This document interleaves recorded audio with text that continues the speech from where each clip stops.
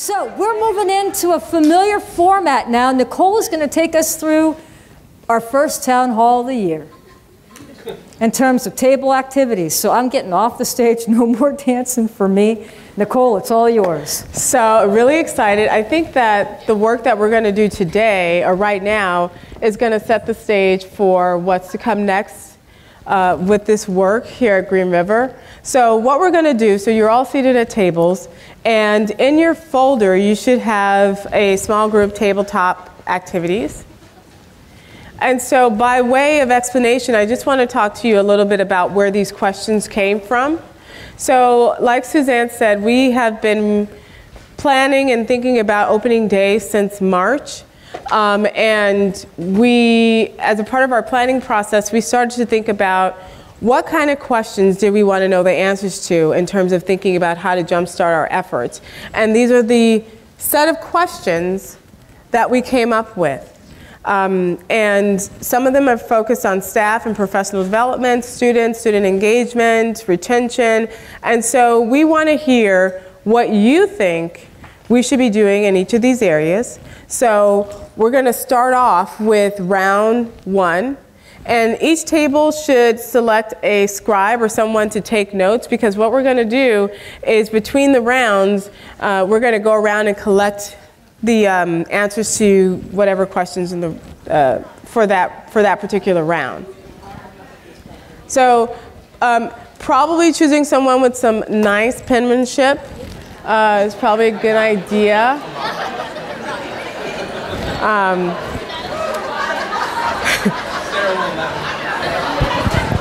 You should find paper on your table on your tables. There should be some uh, sort of larger size paper on each of your tables. Okay. And so what we're hoping for is like we'll do about 10 or so minutes of discussion uh, of the question, of the, the questions posed in each round. And then uh, maybe two or three tables can share out, and then we'll do a pop-up if anyone wants to add um, something uh, to the discussion. So we're going to start with round one. And the question for round one is what incentives or supports can be provided to faculty and staff related to helping to build a more equitable, reflective, and inclusive campus? And then there is a set of sub questions. And so what we're hoping is that you'll be able to um, answer all of them uh, in the round, and if not, uh, at least a couple of them. So why don't we go ahead and get started? So we're going to come back, and what we want to do now is have one or two groups to volunteer to share out. Oh, that's the alarm there. Have one or two groups uh, agree to share out um, with the large group about some of the things they came up with.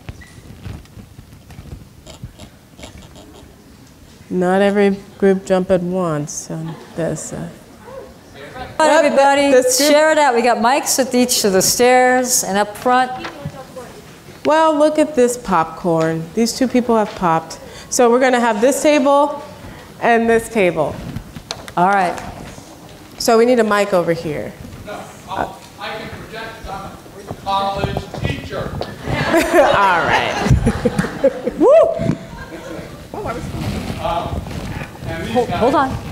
So I'm the, the faculty person, but these guys are the people who basically let the, uh, thank you, let the, um, clarify the problem. And um, it's not just a problem of diversity, it's the set of skills, if you will, uh, and that, that would include uh, an attitude, even, that my students are, my diverse students are going to need more. Let's, it's not that other students don't need it, but they need more. I feel I can do that, but I don't really have enough time. Because what that looks like for me is going up to the student and saying, yeah, you seem to be struggling here. Can we talk about it, right? And so now I'm trying to get them to an office hour. But the fact of the matter is, I don't have enough time in an office hour to do that for all the students who need it. And so it is the, it's what you said. I think the meta message to them is I see you, it matters to me that you learn, and here's where your skill levels are, and here's what you need to work on. And most importantly, I'll be here to help you make progress on what you need to work on. I don't have the time to do it. So that's one of the, is that pretty much? Yeah. That's one of the things we identified, is just the time to have that personal interaction with your students where, where you're following them every step of the day. How's it going today? What happened last night? Why didn't you get done whatever you got done? Um, we were, students think they fail when they look up and see the bad grade. They fail day by day. They fail when they decide to play Xbox versus study. You've got to somehow address that. You've got to be honest and Hard say, choice. so what Hard keeps choice. you from opening the book? Why do you open the Xbox? Let's talk about it. Let's talk about a way to structure your life so that you're more likely to open that book. That all is going to take time and energy that I don't feel I have, quite frankly. I've got like one hour office hour, and um, this is just me whining and complaining. Uh, but when I'm in a committee meeting that's getting nothing done, I'm thinking, what else could I be doing? And this would be one thing that I could be doing. So that was, is that, have we got that right? Yeah. All my peeps say yeah.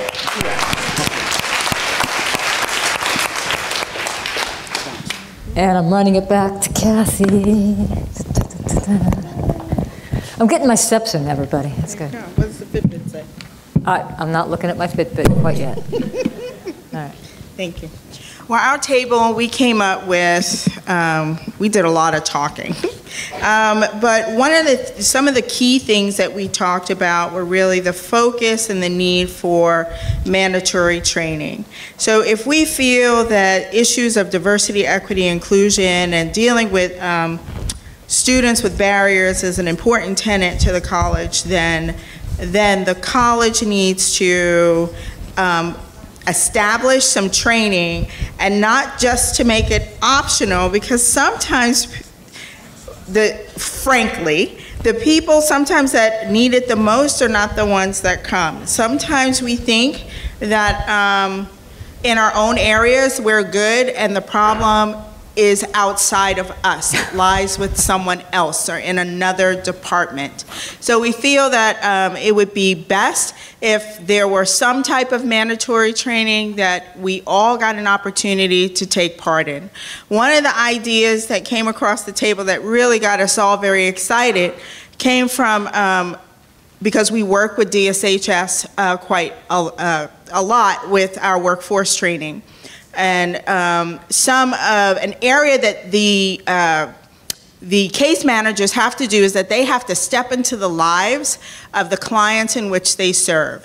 And I think a lot of times we may forget or not really understand what students who are coming to us with a series of barriers are dealing with um, when they walk into our classrooms or into our offices. And they may show up late for something or late for class, and then they're like, well, you weren't here on time, and so we don't continue to assist them. So one of the exercises that DSHS put their case managers through was to live a day in the life of one of your clients. So they had to actually become bus riders and see what it was like for um, a client to have to navigate the bus system just in order to make an appointment. How cool or would it be that if we had to um, step into the lives of our students and instead of you know saying well you missed this orientation or you were late for this orientation so now we're going to turn you away and you have to try to come another day or you miss you're late for class uh, maybe that student had to take their child to child care and then get take a bus there and then get back on another bus and take hours to get to class to only to be told no i'm sorry it wasn't good enough. So we feel that as an institution, if we were to ma- make things mandatory and, and to think outside of the box in terms of sensitivity training as to what uh, people with barriers go through, then I think that it would um, enable us to be able to meet our students better where they are.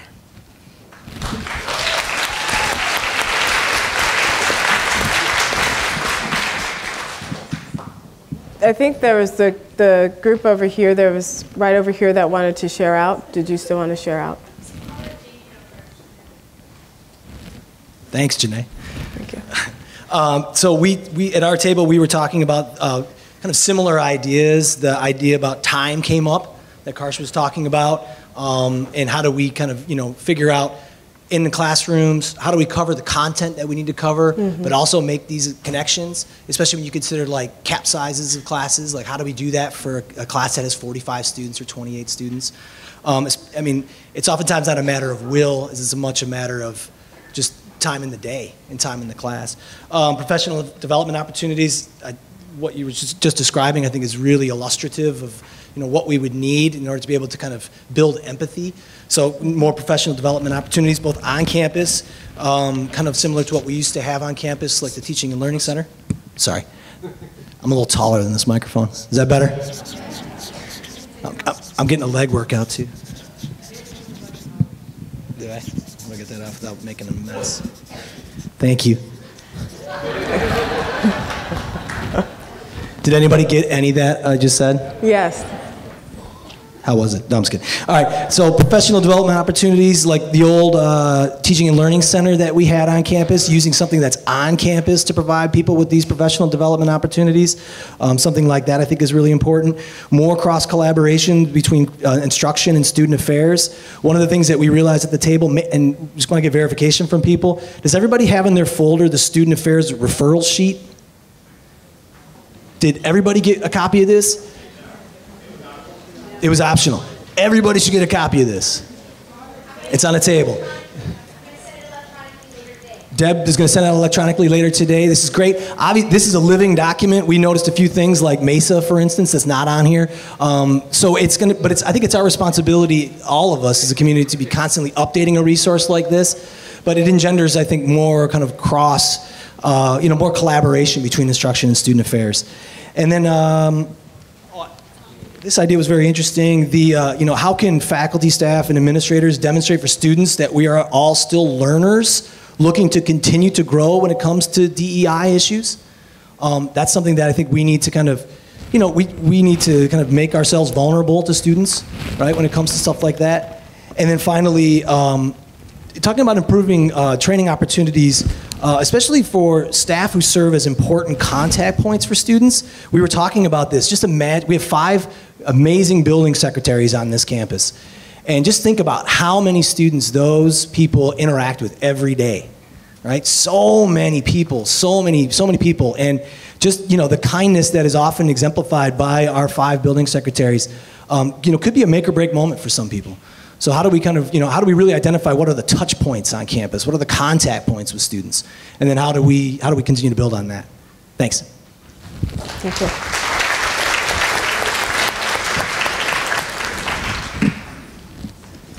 Hi, uh, my name is Janae Sommerfeld. I'm the Director of Budget, and I'm informally representing the business office. And um, the difference is, is our office has very little student interaction. We're kind of behind the scenes. But the funny thing is, is a lot of what's already been said is kind of what we have also said. Um, so I was focusing on this, what resources staff um, are important to staff. And what we came wi- up with was including professional development within our evaluations and having specific annual goals. Um, so it kind of goes to the mandatory um, professional development training that was all uh, spoken about, and ma- having matrix measurements um, within those annual goals. Another thing um, we mentioned is that worksheet that has all the links on it. Um, to me, that would have been great to have a week ago to prepare for today. Um, so having information ahead of time and having easy access to information. So when we go into forums like this, we're better educated um, about what's going to be discussed and researching and coming up with questions. The other idea that we came up with is, again, we have very little interaction with students in our area, is, but we have very valuable knowledge. And so using the staff as a, um, almost like a mentorship, the staff that we have that don't work with students can still mentor students in accounting, in finance, and I'm just talking about our area specifically, but there's a lot of areas that don't have connections with students that could be mentors. Um, that's some of our ideas. Great. Thank you.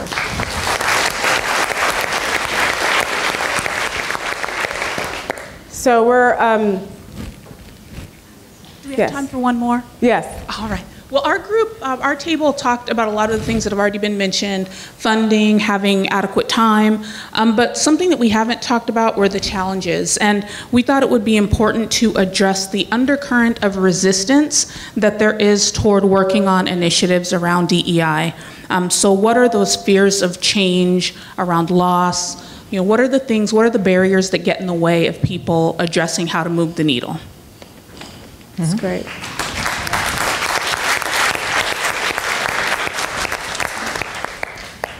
So we're gonna, we have about 15 minutes or so, Uh, 25, actually. 25 minutes? We're good to 3:15. Okay, oh, we have until 3:15. So we're gonna do round two. And so there's a, there are three questions, four questions here, um, that we'd like you to consider. I'm not gonna read them because they're kind of long. But, so you'll have about 10 to 12 minutes in your group uh, to think about these questions. And I'm going to be coming around collecting your notes from round one, okay? So, So, who's going to report out? What about the people in green? Over all those people in green. There are a lot of green people. You,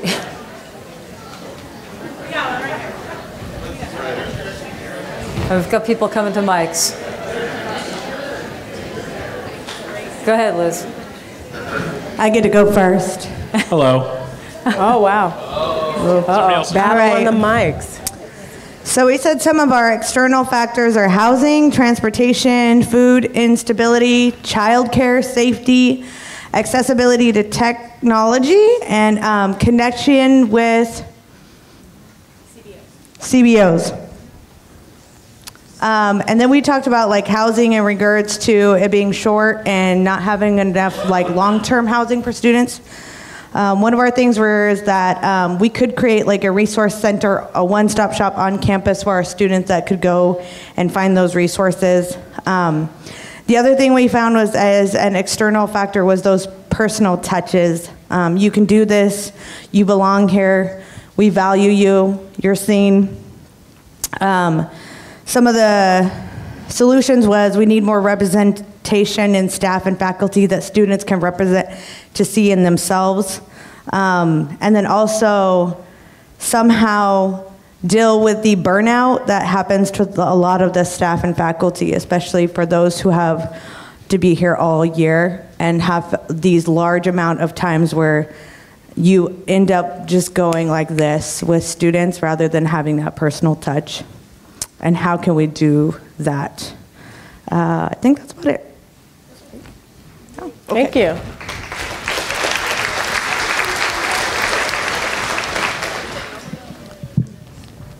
Hello, I'm Richard. Uh, I've been here for six months and I'm from IT, and boy, we had a lot to say. so, as far as uh, things we can look into uh, to help support this, uh, we were looking at consolidation of support systems. Currently, there are a lot of support systems, um, and a student has to log into five different systems with different passwords. That's confusing. Uh, bringing those all into fewer systems obviously would be better and probably more understandable. Uh, we'd also like to review support systems that could cross over between faculty and students that may have similar functionality to help both. Um, something we also discussed is uh, some students may um, be having trouble in classes And in many cases, their peers will be able to help, so possibly exploring ways to uh, do student to student mentorship uh, to also help faculty uh, with the time issues. Um, things that could prevent students from coming into classes or uh, from completing uh, financial instability, fear of failure, class hours not being accommodating, uh, lack of central service directories for certain ways that they may be able to get help if they're struggling. Uh, and services at the campus are all over the place. Uh, some students could be sent from one building to another several times, and that's very frustrating uh, if you just need some help. Uh, as far as other things, um, we were looking at online. The, uh, the online application for the state does not use friendly language. It is also only available in a single language, English. Too bad if you don't speak that. Um, we do have, uh, again, dispersed, hard to find systems on the website. Uh, many of them are not advertised or explained, they're just as is. Uh, as far as uh, those services, they're often only presented at orientation. Uh, we don't follow up during their stay at our college um, to make sure that they remember all the services that are available. Uh, and then location of physical services, once again, is difficult to find. We don't really advertise that anywhere other than orientation. Uh, and then something else that we noticed is that um, it would be nice to have a system that could track when a student has missed multiple assignments in a course so that we could say, hey, this student might need somebody to contact them and see if everything's all right. Uh, but because we do not have a universal standard across the board to track coursework, we cannot do that. Every class tracks coursework in its own way. Thank you.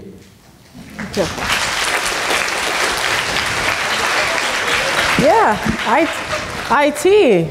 I like IT. A lot of good ideas. Hello, everyone. My name is Chelsea, and I work on our TRIO program. Um, forgive me, I'm not trying to toot TRIO's horn, but a lot of our ideas um, are going to sound like that. Um, so we wrote that we would like to create a TRIO-esque program that's open to all students. Our TRIO program can only serve 200 students, but the holistic wraparound services that we're able to provide, because we only serve 200 students, are really important to the success um, of our students. So Rosella has shared that at um, her previous institution, they were able to do this with institutional funds, um, and it was really effective. And so we had a really long conversation about that. We talked about how we have a current advising center that's really overworked because we believe they're understaffed, um, but also we we have a completion program, right? So we catch them at the beginning with entry advising, and then we have our current advising staff again, not a lot of them, to serve the population. And then we have a completion program, but it, we talked a lot about the retention in the middle and how we can better retain those students. Uh, we talked about having a mandatory one credit college navigation course, which I know we've talked about here. Um, for students that have 30 credits or less. Um, and the last thing was just um, increase educational capital um, by teaching students how to advocate for themselves, which is something we try to do in TRIO, providing them with questions that they can ask financial aid on their own, um, helping them put together the skills and tools so when they're in an office or in a situation or in the classroom, they know how to address their instructor or kind of what questions to ask. Um, because I think that, that can be a challenge for our students. They just don't know what questions to ask.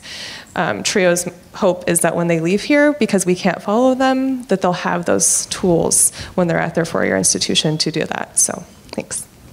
Thank you.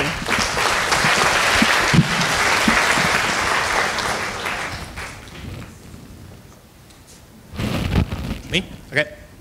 I'm Keith. I teach science, and I'm at a table of people who teach science. And so it sounds like I'm tuning the faculty's horn. I'm not. You're going to hear that in a minute. Um, boy, all kinds of things we had here. One is at my table, we're all science teachers, we're all STEM teachers. And if you want to increase diversity, a lot of the damage is done. In fact, almost all of it is done before they get to college. If you, get to, if you walk into our classes, you do not see the colors of skin and the difference of gender that you see in history classes and sociology classes and stuff. So you're not going to crack the problem of uh, diversity in STEM unless you reach down below the college level, and really, that means elementary school. So we got to start partnering with the K-12 schools.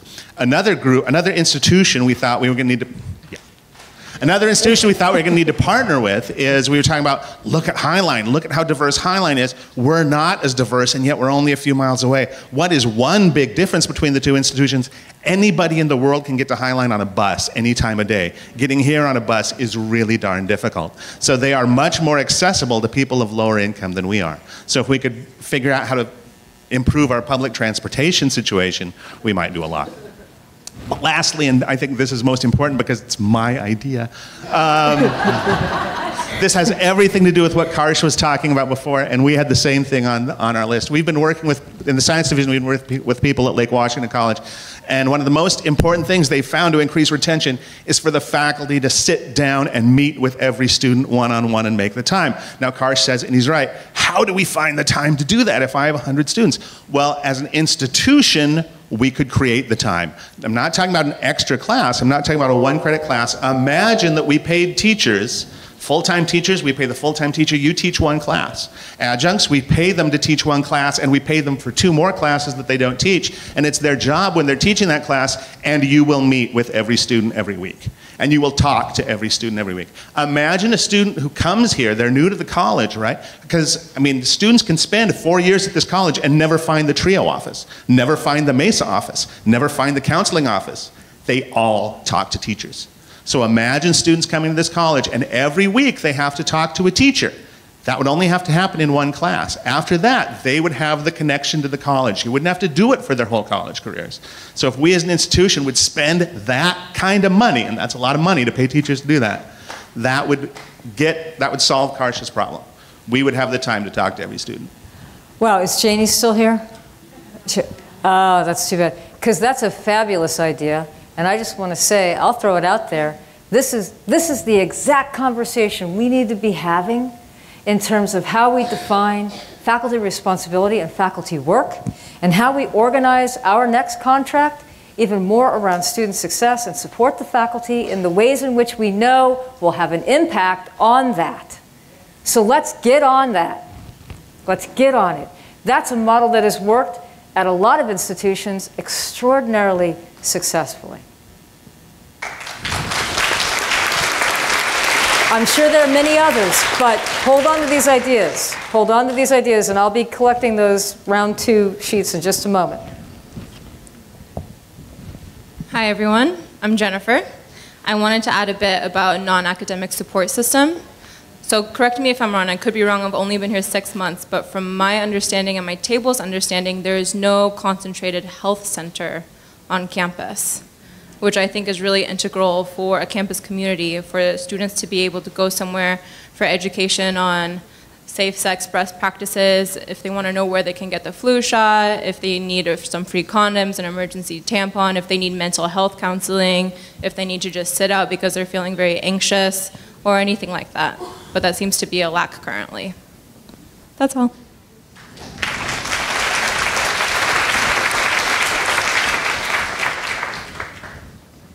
Hi, I'm John.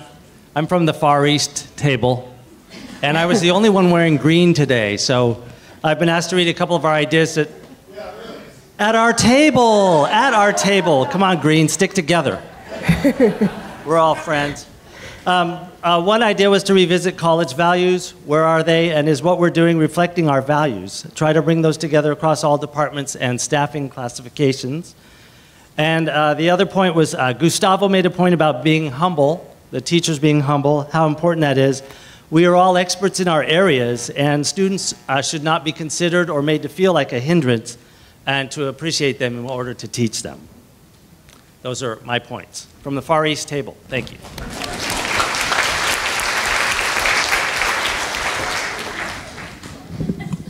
I wanted to add one more point that I think is critical in terms of student success, and this is answering question number three, um, which is the invisible load or the hidden load that staff of color have in terms of the services they provide and the mentorship they provide to students of color in particular, and thinking about who from the students gravitate towards them. So we talked about the need for more representation so we can kind of spread out that capacity and make sure sure that there's not burnout um, among staff of uh, color in that sense, because that's also connected to their plight, their experiences here at Green River, and then ultimately their retention and also their success.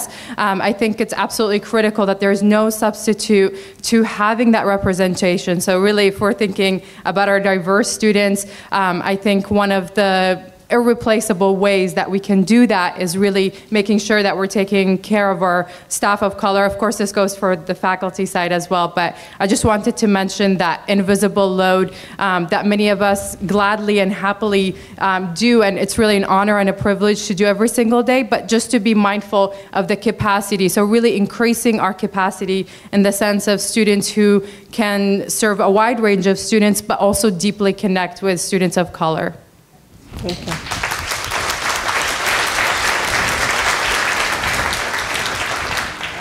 So we're going to wrap up. Um, so thank you so much. We were, when we were talking about uh, the table topics, the table conversations, um, we knew we were going to get through round one and two. We thought maybe we could do three or four, but we weren't certain. But one of the things that Suzanne said was that Round three and round four is the work that begins with this academic year. A lot of it is very specific and pragmatic, and so um, be, we want you all to be thinking about the questions that are posed in round three and round four um, throughout the academic year. So, in terms of my takeaways, I don't want to. This has been a tremendous day. Um, I think the again, when I got the call from, or the email from Jody, I did not know what to expect. Um, but it's been an absolute joy working with uh, you all over the last six months, and then today has just completely blown me away. So I'm just very grateful. Um, and thank you all for staying. Um, Suzanne keep, keeps saying, I don't believe everybody stayed, I don't believe everybody stayed. Um, but you, you've also not only stayed, but you've stayed present and you've been very thoughtful and, and been very open. Um, I think that this is the beginning of all the tremendous work that's going to happen and continue to happen over the next few years um, and get us to our goal of 52%. I said 54% last time, did I? Uh. I think I, anyway, I'm not good at math, so here we go. So, um, but I wanted to, I have, I've, I have like 10 minutes I, I had to close up, and then Suzanne was going to come up. But what I really want to do in the last, in my last few minutes, is to hear from you and some of the takeaways or aha moments or some something that you're going to be taking away from today.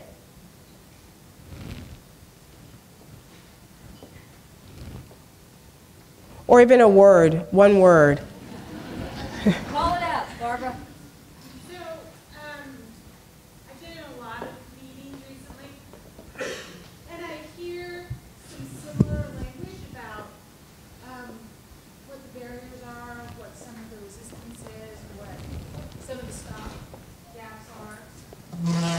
But I feel like this one might take us to that next place.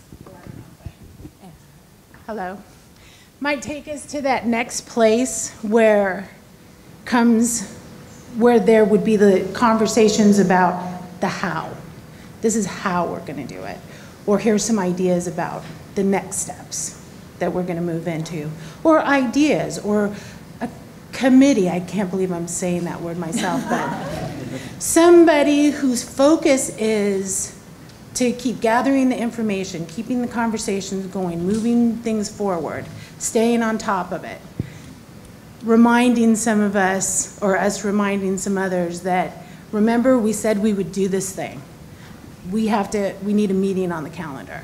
I know everyone's busy, but we need to commit to this. So this feels closer to that than any of the other ones that I've been to. So just want to share that. Mm. That's what we call progress.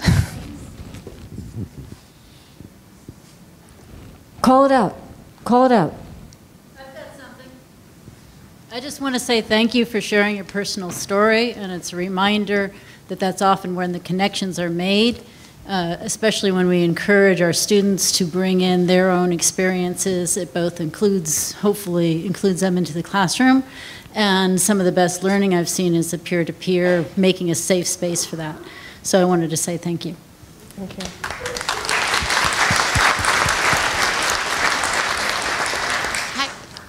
Hi, so I have um, two nieces who are moving to our area to go to college, fresh out of high school.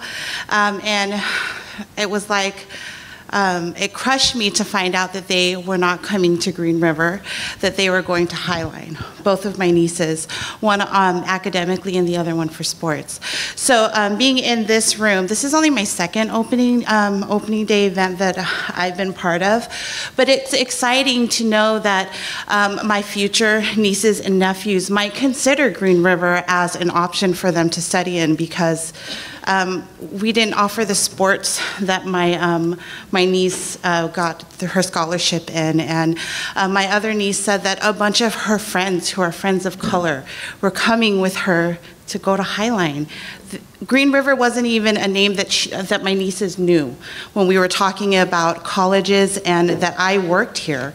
Um, so it's exciting to know that um, the trajectory of our, our student body might be changing a little bit, especially for me. I'm a Pacific Islander. My two nieces are going to college on scholarship at Highline. It's my hope that in the future, more Pacific Islanders will be offered those opportunities here in Green River.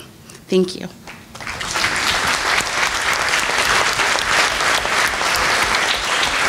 Other takeaways that you'd like to share?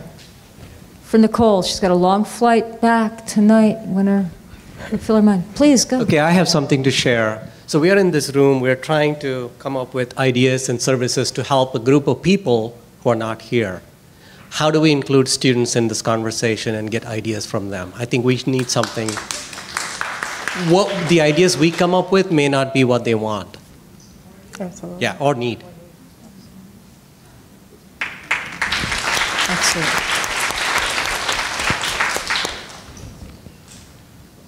Any other, other last call outs? Last call outs for Nicole. couple questions you asked, I thought were really central to everything that we're doing. Um, Do you see, do I matter? I think we all, a- you know, ask that as teachers, as staff, when we see these students. Uh, The two questions I think that resonate with me from today is, do you see me and do I matter? I just think those are probably things that are focal points for all of us. You know, as we look at our students, um, if each one of them feels like they've been asked that question, I think that goes a long way. That's a real takeaway for me. And I think our response should be, I want to, you know, yeah, we want to see you here. I want to see you here. I want to see you stay. Right.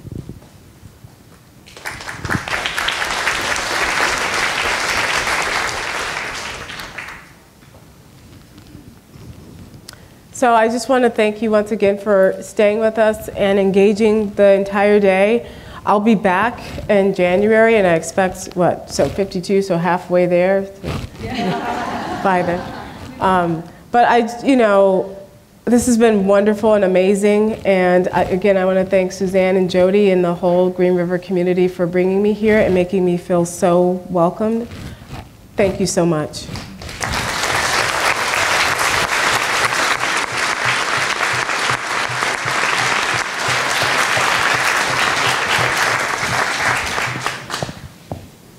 Thank you, Nicole. Um, this day could not have been possible without you. And I look around the room this afternoon, and you're all still here. As Nicole was sharing with you, it, it shows our passion, our commitment, and our devotion to this institution and to the students that we have the priv- privilege to serve. I cannot thank you enough for giving your day today for each other, for us, and our college's future. I cannot express my gratitude more. This has been a remarkable day for us and an excellent opening day. Yes, you'll get an evaluation in a couple of days. We'll figure out what to do next year, how to make it better, what worked well. But this is a day I hope we can all reflect on that brought us together in community. We learned through listening to understand. And we've kept the priority in our conversations today around the student. There are no sides when it comes to student success. There is not a staff person or an administrator or a faculty member.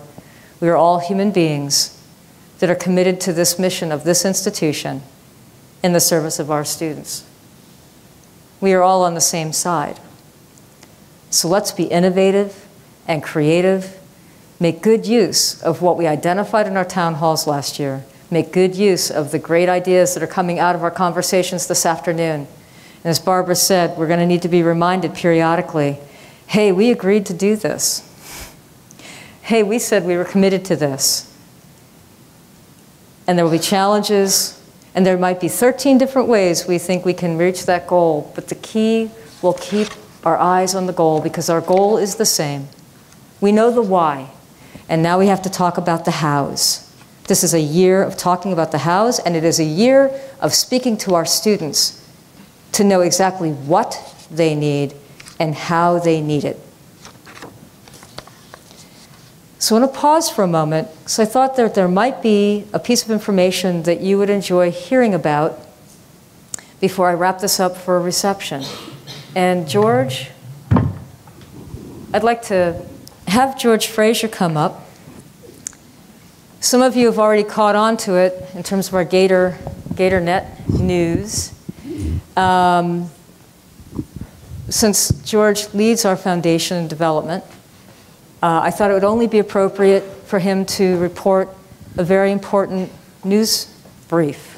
So, a short story today. We um, got notification over the summer that the estate of Jerry and Diana Berger was uh, had named uh, the college and the foundation as a beneficiary. And the Bergers had a, a, business in Kent for many years. They had been involved in scholarships here at the college, and they had created a marital trust. And we knew that that trust, um, we were part of that uh, of that uh, trust document. So got notification that unfortunately Mrs. Berger had passed away. Jerry had passed away some time before, and we uh, got notification that the gift was coming, but we had no idea what the size of the gift was. So my team um, was showed up knocking on the window during president's staff meeting, all of them staring through the window into the boardroom, saying, you got to come out. So it came out, we opened the check, it was for $1 million.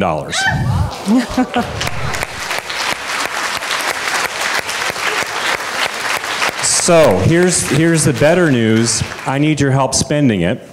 Um, so, you have all been amazing stewards on campus of our scholarship program, of the Gator Pledge, and we're trying to get to the place where no student makes the choice not to come to Green River or leaves Green River because finances are an issue. We're not there yet, but this million dollars gets us a little closer to that. So whatever you can do to help students, direct them to the scholarship program, direct them to the Gator Pledge, get them to the completion coaches, because there's resources there with the completion coaches, that would be a huge help. You can help us spend that money keeping students at Green River or getting them to Green River. So I need your help. But it's a great day. Really excited to be able to announce that gift. The good news, there's probably still another 100,000 or so coming, so it'll be a little bit over a million dollar gift. And uh, we have some other gifts that we'll be announcing after there, uh, after we can do that. But uh, there's probably another three or four hundred thousand dollars worth of gifts that we'll be announcing over the course of the next six months. So right. good stuff. Excellent.